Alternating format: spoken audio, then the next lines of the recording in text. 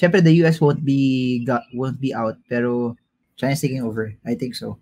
Tsaka ano sila eh, sobrang aggressive nila eh. Sobrang, di ko, di ko alam kung parang west, western na sila, sobrang upfront, sobrang direct. Bayad na ako ngayon, ganun, ganun sila. Hey guys, welcome back to the Leadership Stack Podcast, the podcast for entrepreneurs by entrepreneurs to increase your leadership, teamwork, and profits. This is your host, Sean C., aka Mr. CEO at 22.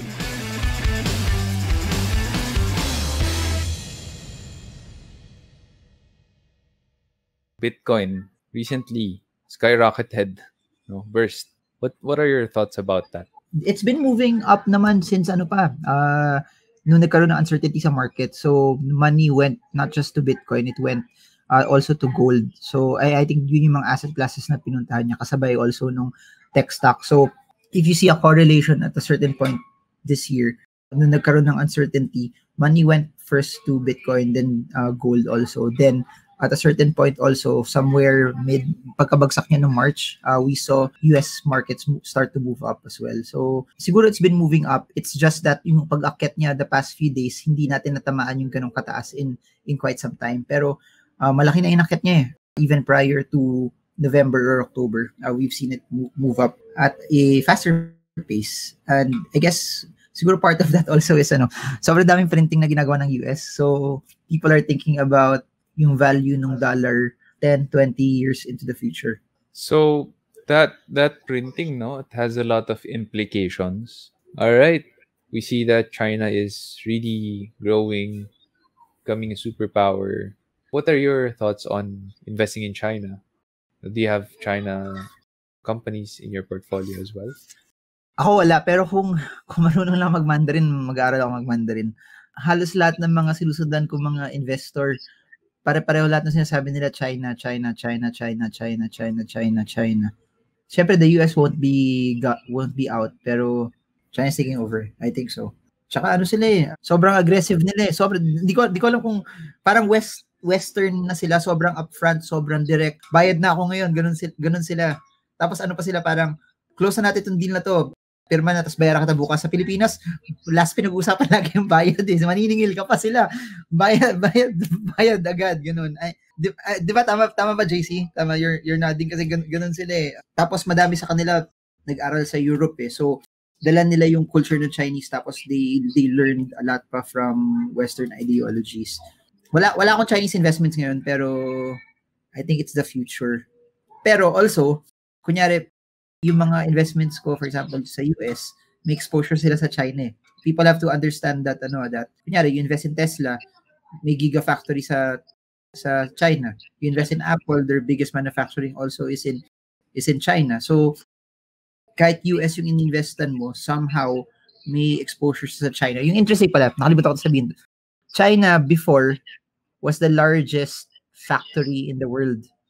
Ngayon, they're not just the largest factory in the world, they're also the largest marketplace. Kaya nga, ang laki nung nawalang revenue sa NBA ngayon because of the, a comment lang that was against China. Tapos they lost a lot of money because China is the large, one of the largest marketplaces in the world already. Kaya madaming din galit kay LeBron James eh, kasi ang dami niyang comment about US freedom pero freedom in Hong Kong parang yun things like that but they don't want to spoil yung relationship nila sa China ganun kalaki yung revenue na nakukuha ng ibang bansa sa China or at least ibang businesses. So may player comment sa about China? General manager. General manager. Actually, di pa nga sa China eh. Sina, nag-comment lang siya na na ano, we stand with Hong Kong, parang ganun. Yun lang yung comment niya. Lahat ng laro, canceled. And then the NBA parang commissioner supported freedom of speech but did not directly state the China na, against China mm-hmm. naman. And then sobra, they didn't they didn't allow all the TV shows ng ano, not just the games na pre-season, pero they didn't allow the games to be telecasted on ano on on China, which is huge amounts of money. Oh, ganun kalaki. Malaki nawala sa kanila. Sobra, sobra, sobra lang nawala. So, ganun katakot yung mga big brand sa China. Ganun kalaki yung China. Threat yung China sa kanila eh. Ito next question. In your in your opinion, did we hit rock bottom for the economy? Do you think we're starting to recover? Hmm, we are. May kinakasal na ngayon eh. Wala, that, that's something you never see on April eh. The fact na things like that are starting already. Uh, layo na, we're very far from where we were in April. Dati, April, ah, we used to cook everyday. Ngayon, we, we don't cook anymore. We don't cook as much anymore. Parang bumabalik ka sa normal. Pero yung nag-iba lang, food panda lahat. food panda lahat siya. So I, I think that's what that's what changed. Ako naman, I'm not a mic- macro uh, perspective guy. I don't really follow all the news about it. Pero from the perspective lang namin na nasa wedding industry, we've seen definitely dumadami na ulit yung weddings. Not in terms of the weddings happening now, but there are a lot of clients na, na they're having their small intimate gatherings now and then they plan to have a one-year anniversary in the future na big event naman. And then a lot of our clients then are are starting to get their jobs back, starting to have the sense of stability. And because of that, dumadami na ulit yung yung bookings compared talaga before. So I, I if you if you're comparing before and now, ang layo, ang sobrang layo siya. Sobrang layo na, sobra super. Sobrang layo, sobra. Super layo. Uh, I think we're we're far na.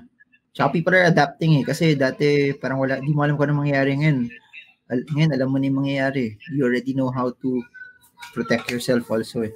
Pero ang dami pa rin new cases every day. I think that that thing's a point that we will just have to live with it eh, na nandun lang siya. Uh, hindi siya mawawala, hindi siya mawawala kahit, magka, kahit magkaroon ng cure uh, before the medicine will come sa Philippines, one or two years pa yan. How can they provide 7 billion people with uh, with vaccines kagad? Hindi kagad pupunta sa hindi kagad pupunta sa akin sa atin yun. So I think it's something that we just have to deal uh, we just have to deal with it. Or katulad hindi ako hindi ka wag ka lang hindi ako lumalabas masyado. Uh, play StarCraft, stay at home, save money, stay safe. Siguro we'll end with this last question. What is your secret for a good life? People have this misunderstanding that more money means mas masaya ka, which is not true eh.